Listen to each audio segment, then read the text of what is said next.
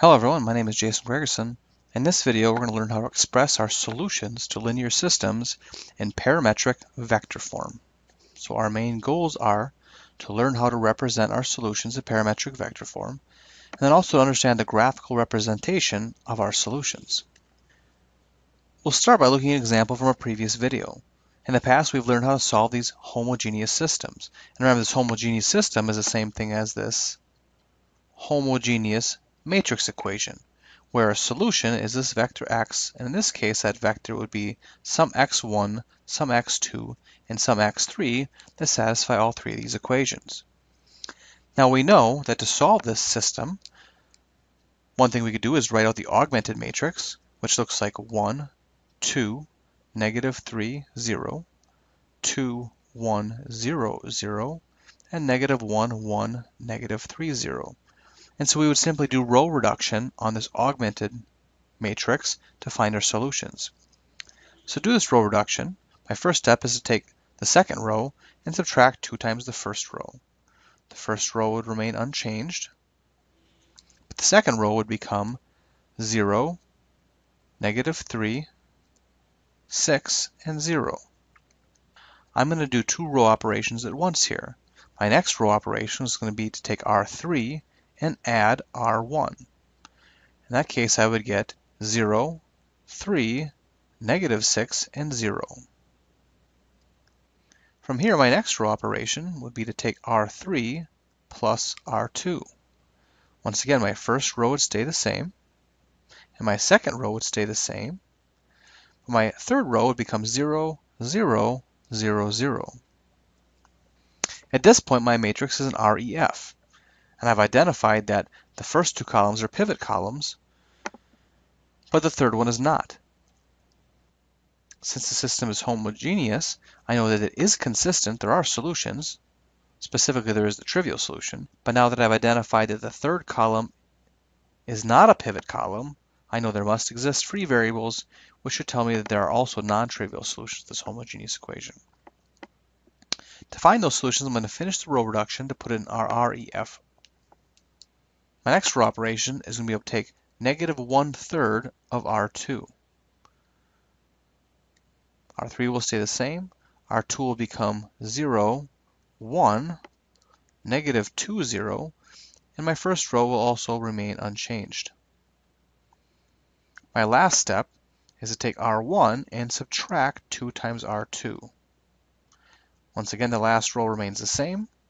My second row looks like this, my first row, I take row 1 minus 2 times row 2 will give me 1, 0, and then I'll have negative 3 minus 2 times negative 2. So that's minus 3 plus 4 should give me a positive 1.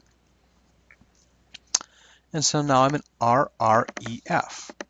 From here I can go back to my equation forms, which should look like x1 plus x3 equals 0.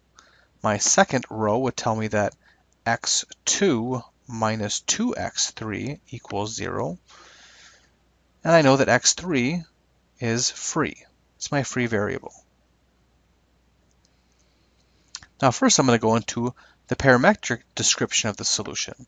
All I'm going to do is solve for each one of those variables. So I'll have x1 is equal to a negative x3. I'll have x2 is equal to positive 2x3.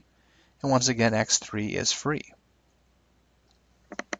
So here we have the solutions to this homogeneous system.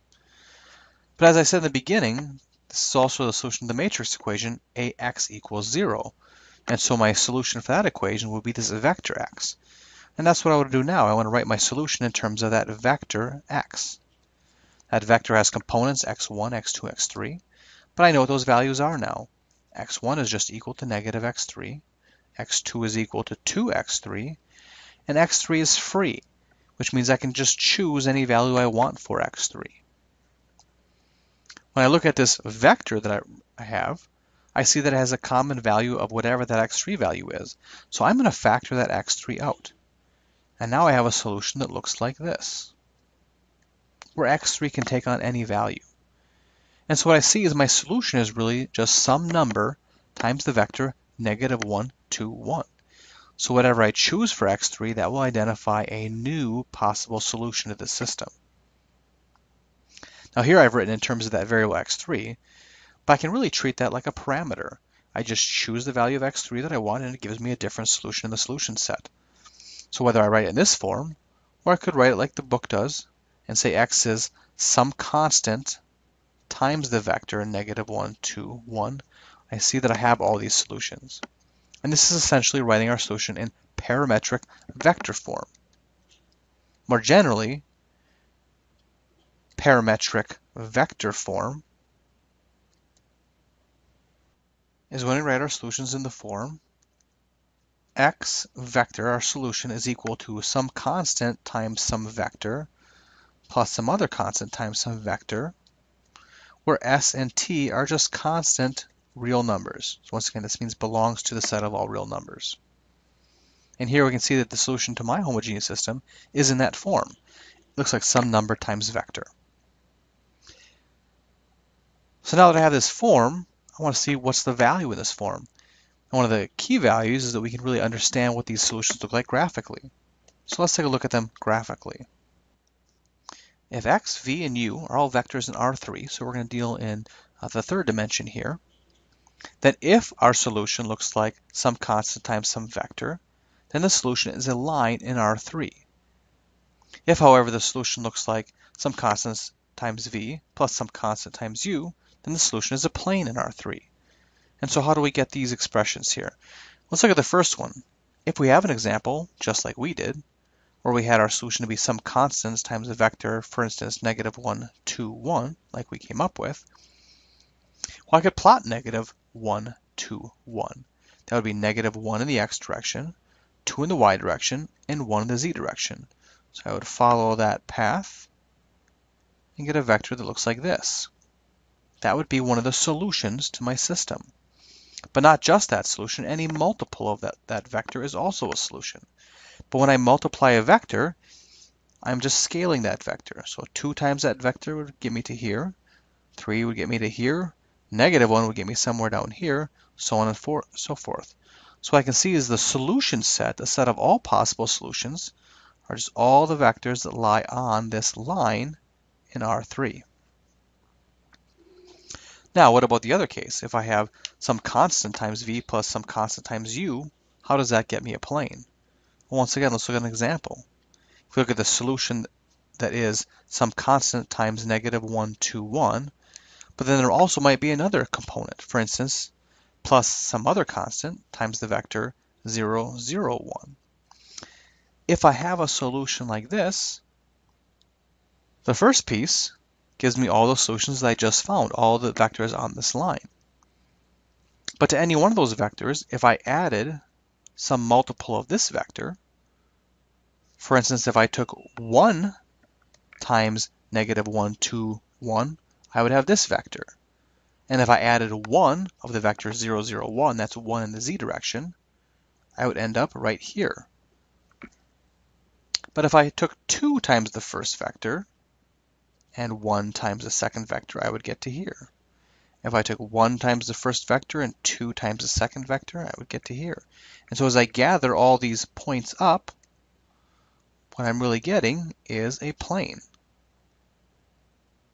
I can't get to all of the points in R3, but I can get to all of the points that are lying on this plane. Now there are other ways to come up with these same results. For instance, in this first case, S is my value that's free to vary. Free to vary. You could call that my independent variable in this case. And all the other values, the x1 and the x2, are really fully defined as soon as I choose s. So this turns out to be a linear equation of one independent variable. You had some background in equations, a linear equation of one independent variable is a line. That's another way I can think of this solution being a line. Now in the second example, I really have two parameters that I can adjust, two independent variables. And a linear equation of two independent variables gives me a plane. So that's another way we can see that. And there's one other way we can visualize these solutions as well. If I clean up my picture just a little bit and think of that first solution, my example was I had a solution look like some constant times negative 1, 2, 1. Well, we saw that that was a solution to the following system. we had this system that was x1 plus 2x2 minus 3x3 equals 0.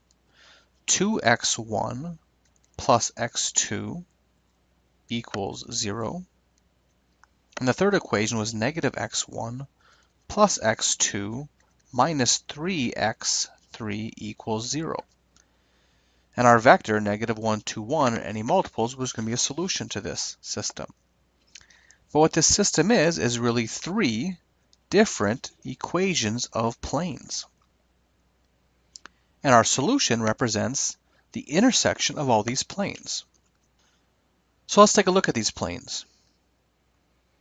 If I'm in Mathematica, and this is code that you don't have to know, I'm just going to go through this real quick to, to show these planes and see what this intersection is. But I can one way I can plot planes is using the command contour plot 3D. Now, what I have to do is I have to put in all the equations of my plane. Instead of using x1, x2, x3, I'm going to use x, y, and z. So my first equation was x plus 2y minus 3z equals 0. That was my first equation. My second equation was 2x plus y plus 0z equals 0. And my last equation was negative x plus y minus 3z equals 0. And then I just have to pick a range of values to plot this over. So I'm going to plot this from x goes from negative a to a, y and z will follow the same ranges.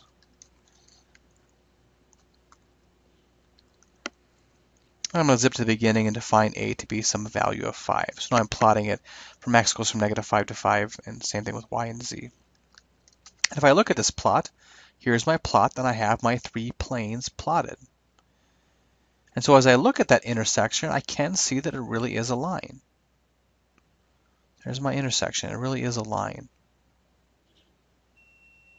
Now, is it the line that's represented by my vector? Well, one way I might investigate that is by trying to plot that vector that was negative 1, 2, 1. Now, That might be a little tricky in Mathematica, but not, not too bad. So what I want to do now is be able to plot an arrow. So I'm going to use graphics 3D and I want to draw an arrow and I want my arrow to go between two points. I want it to go from the point 0, 0, 0 over to the point negative 1, 2, 1. And what I'd like to do is show these two plots together. So I would like to show the first plot comma the second plot, and that should end my command. There, I've executed these two commands. Now it's a little hard to see if it actually did anything, whether it actually showed an arrow or not. So to better see if that arrow is really showing, I'm going to modify this a little bit. I'm going to make this graphics a special thickness of 0.04 just to make it a little thicker. I'll maybe add some color and make it red as well. So I'm just going to add those to my graphics command to see if I can make this arrow pop a little bit. And sure enough, I see my arrow now. So I can see my arrow really is lying right on the intersection of those three planes. And not just that arrow, it's not that one vector of negative 1, 2, 1, but if I looked at the vector 2 times that, sure enough, that one's still there as well. So I can see that intersection between these three planes is really just the line that is some constant times the vector negative 1, 2, 1. And so that's the last way that I can see that that solution really is a line in R3. I can also see the power of that parametric vector form because it really describes what that solution is doing. And that concludes this instruction on parametric vector, form.